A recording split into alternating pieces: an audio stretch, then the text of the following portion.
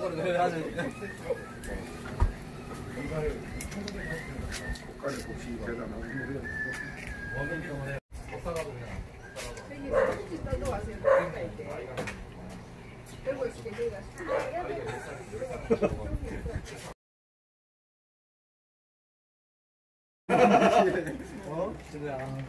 아니 안 팔리는 거 있어 걷어드렸지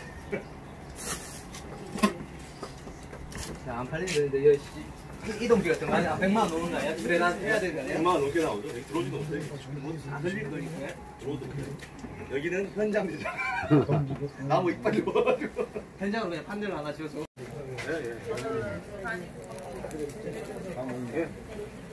아, 아.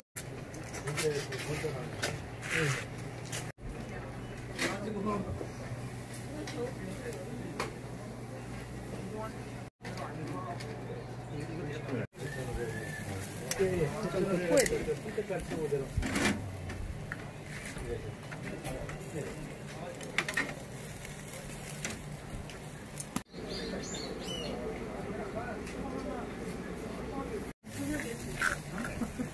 사장님하고 저랑 집에